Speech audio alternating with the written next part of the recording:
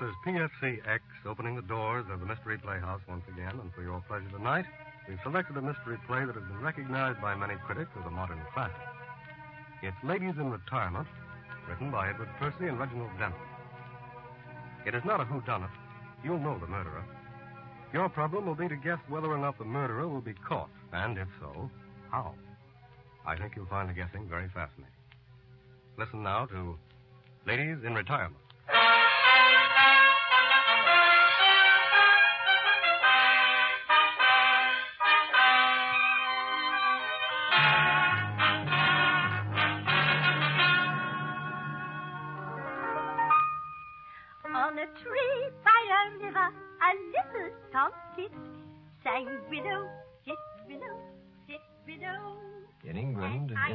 Remote and lonely marshes of the Thames River below Gravesend, is a place called Estuary House. There, seated before a piano, is an aging woman wearing a flaming, unabashed red wig.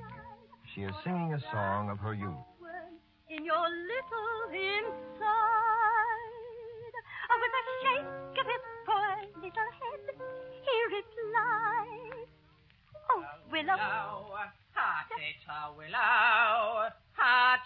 ha-chi-cha willow. Well, young man, just who are you? Albert's the name.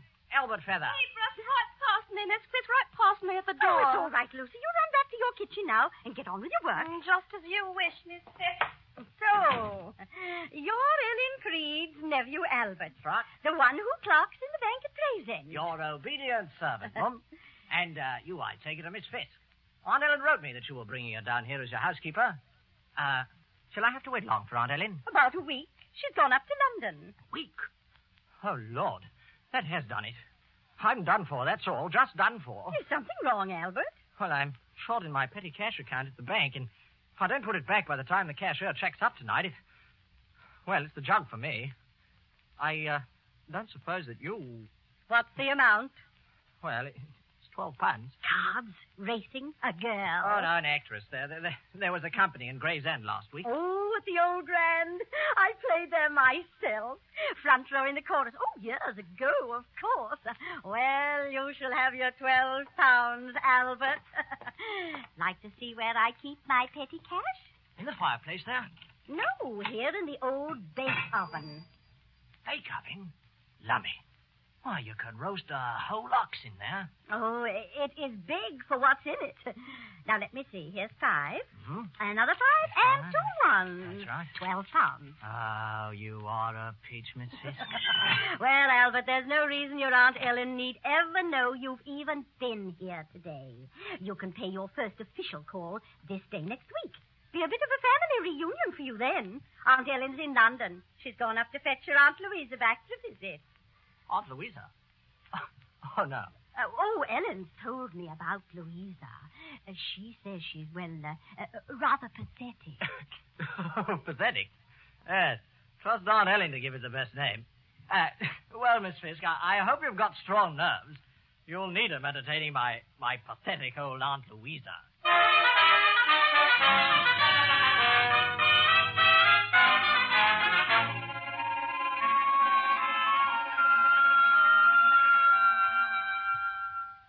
Louisa, dear, don't you think you could take your bird outside now? Oh, please don't be cross with me, Ellen. He, he's such a soft, quiet bird. Yes, dear. But I think you'd much better take him out into the garden and bury him. You know how Miss Fisk feels about your bringing things like that into the house. I hate her. Miss Fisk in her horrid red wig. We have her to thank for these four months here together. Ellen, can't we send Miss Fisk away, and then we could be really alone? But I keep telling you, dear, this is her house. Oh, you, you, you won't send me back to London to the awful, ugly streets? Ellen, promise. Promise me you'll never send me away. Oh, my darling, I do promise. I promise nothing shall ever make me send you away. Run along now, dear. Out into the garden. Quick, run. I'll fly. Oh, this Ah. Remember, Annie, you promised. Yes, my darling. Yes. I promised.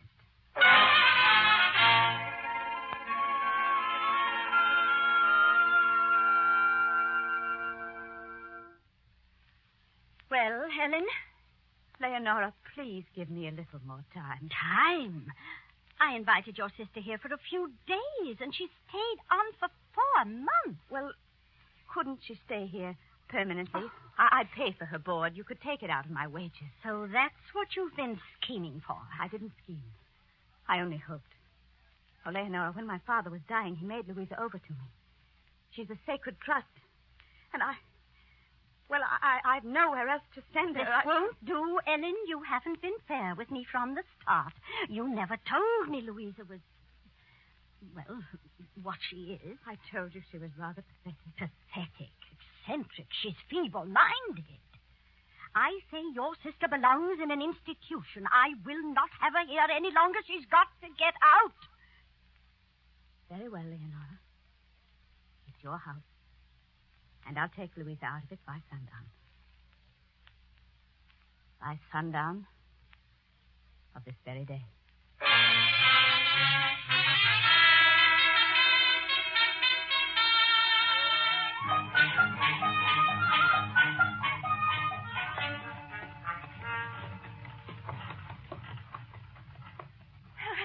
Driving in a carriage.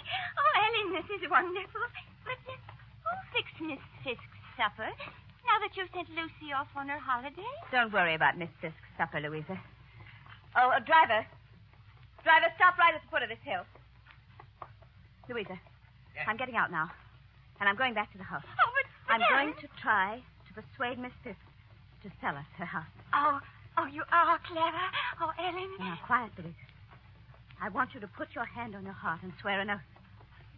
Swear that as long as you live, you will never tell anyone about my trying to buy Fisk's house. Ellen, you, you, you're frightening Swear me. it, I say.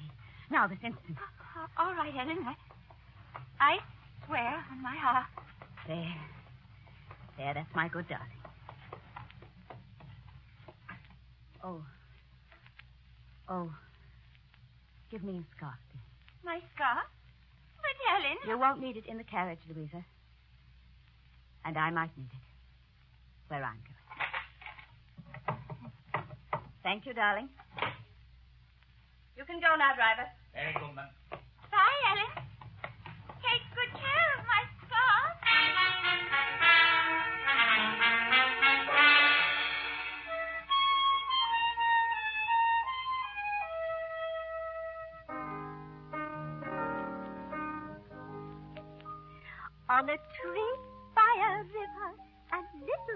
Tom sang willow, tit, willow, tit, willow. Champagne's all right. Music's all right. I'm all right. Bit of all right, if you ask me. Here's to you, Leonora Fisk, mistress of your own house once more. Ellen? Is that you, Ellen? Sworn the front door opened. Felt the draft. well, though I probably shall not exclaim as I die. Oh, willow, tit,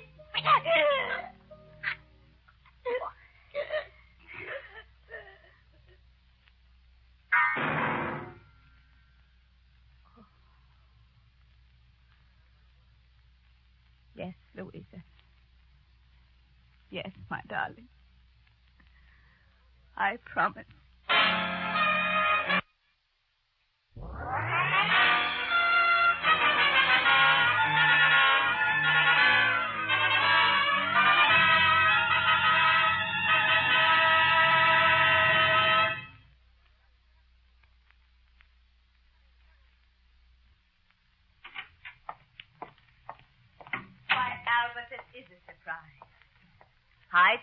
You came to see us? Better late than ever, Auntie. How are you, old girl? Just to think, Ellen, I, didn't know him when I opened the door. If the vicar hadn't been here, I'd have been afraid to let him in The vicar was here. for a few minutes. He asked when Miss Fisk would be back. Oh? I, I said I didn't know how long she'd stay abroad. how surprised he'd be if he knew she isn't coming back to this house at all. Louisa, of course she's coming back here. I'm afraid you've overexcited her, Albert. Now, Louisa, darling, Run along upstairs and take your nap. Oh, but I wanted to have tea with Albert. You shall have supper with him. Uh, now, before you ask me to supper, Aunt Ellen, don't you think you'd best know why I've come? Well, what do you mean, Albert? Well, uh, I've no time to beat about the bush. The police are after me, or will be, as soon as the bank gives them my description. The bank. Albert, you haven't stolen money from the bank. Oh, it's it's my first mistake, Auntie. Now, if you'll just hide me until it's safe to leave, I want to make a fresh start. America, Australia, anywhere. But they'll. They might search this house. Oh, no, they won't. Now, I didn't meet a soul on the way over from Gravesend, except your vicar, and he'll forget me in five minutes. I know these absent-minded old duffers. Oh, don't look at me as if I were a murderer, Auntie. I may be light-fingered, but I haven't got blood on my hands. No. No, you haven't. I'll hide you, Albert. I've no right to turn you away.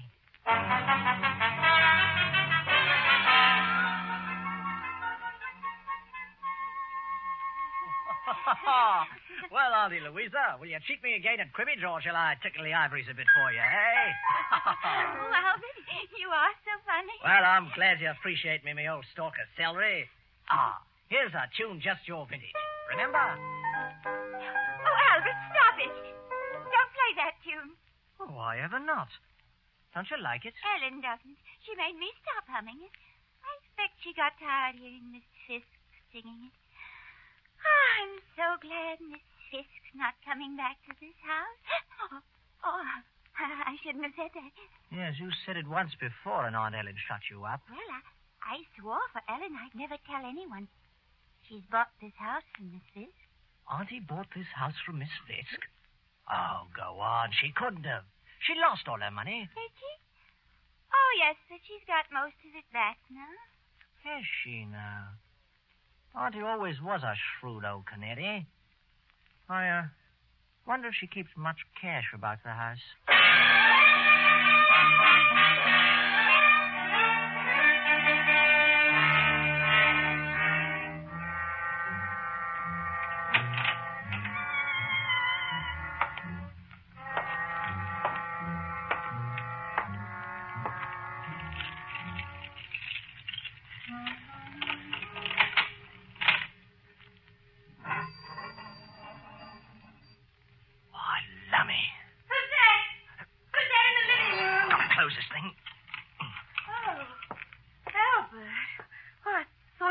A burglar. Uh, why, the padlock on the bake oven door's open. So you're the burglar. Here now. There's nothing behind that door, me girl. Miss Fisk kept all her money there. It's the old bake oven. Bake oven, my foot. Here, have a look. Oh, it's all bricked up. Yes. Must have been done while I was on my holiday.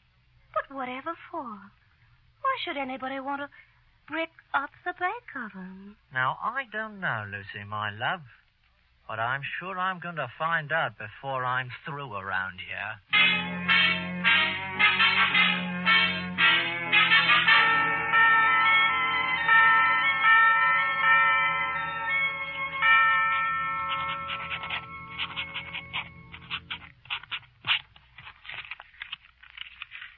There, I finished my letter, Louisa.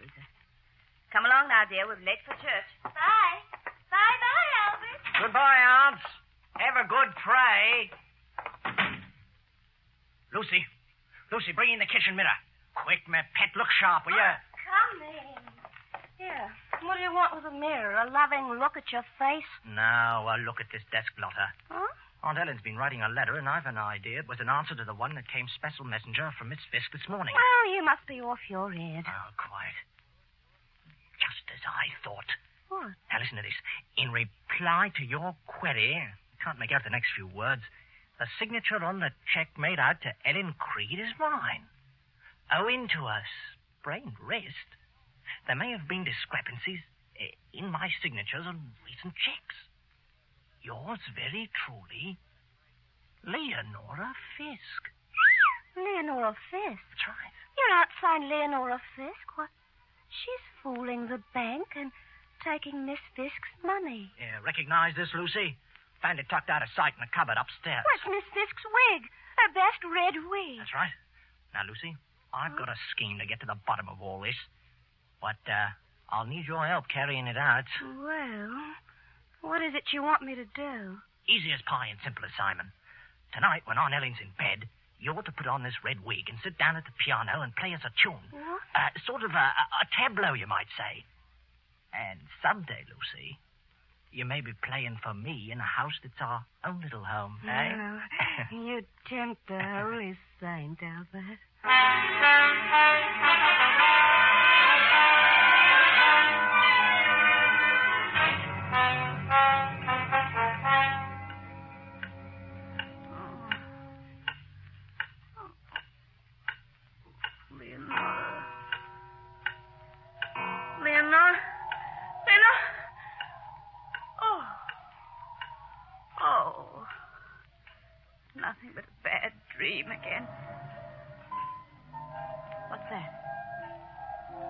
Piano.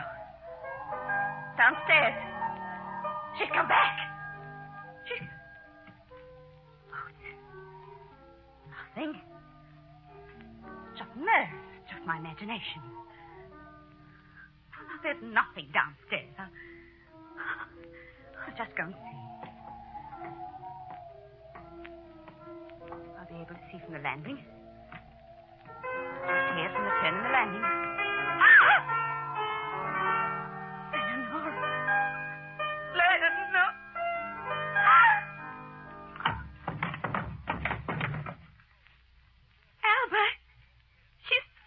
Dead away.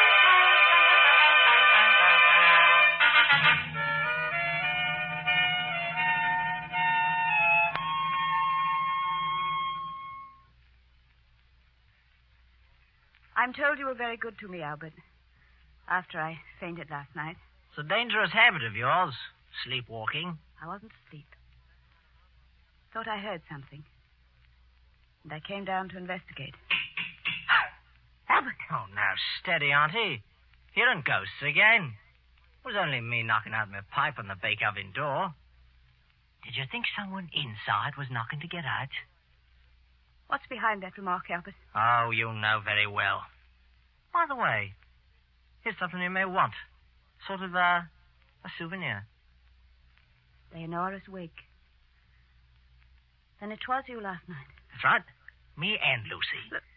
She was at the piano wearing the wig, and, well, the game's up, Auntie.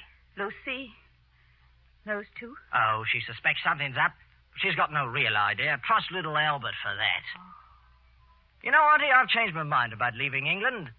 Matter of fact, I'll need a little money for a wedding present. I might decide to marry Lucy. So you've come to the conclusion that it's safer to be a blackmailer than a thief. That's right.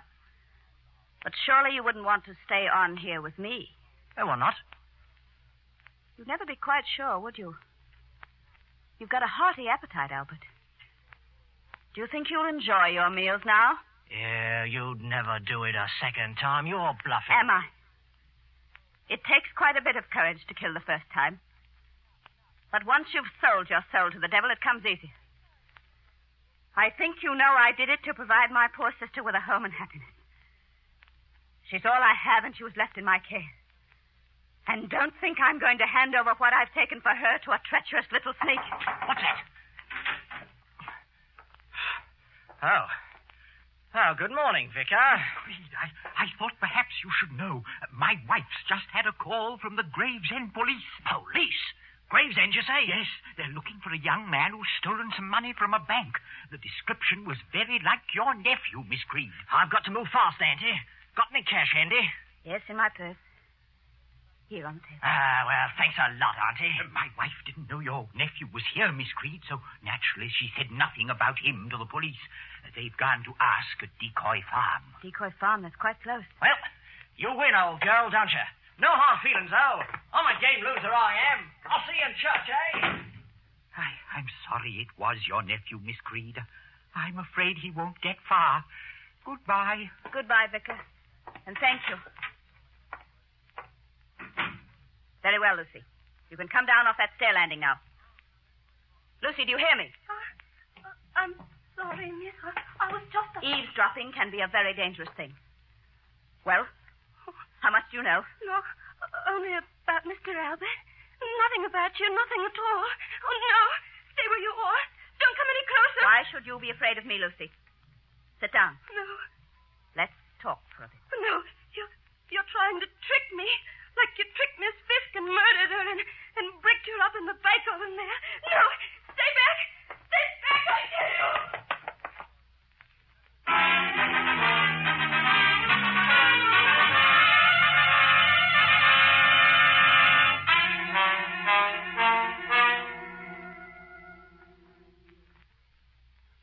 Oh, coming in just now, Lucy just passed me, running like the wind towards that farmhouse. The one with the funny name, you know. Yes, I know. Decoy Farm. Some gentlemen from Gravesend are there. Lucy wants to talk to them. Gravesend. Ah, Are they friends of Albert? No. Not friends, Louisa. Tell me, my darling, have you been happy while you've been here? Oh, yes. So happy. Oh, it's been so, so lovely and peaceful here all by ourselves. Oh, I, I hope Lucy won't bring those gentlemen back here. She won't. I promise. Now, my dearest, I have to tell you goodbye. I have to go now. Over to meet those gentlemen. Myself.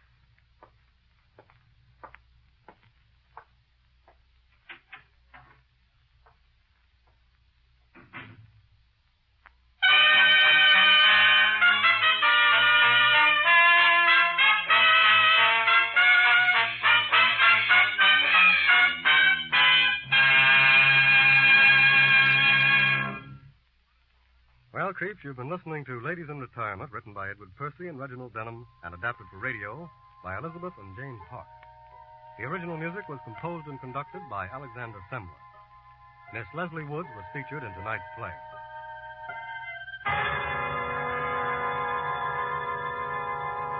Until next time, then, this is PFCX closing the door to the Mystery Playhouse.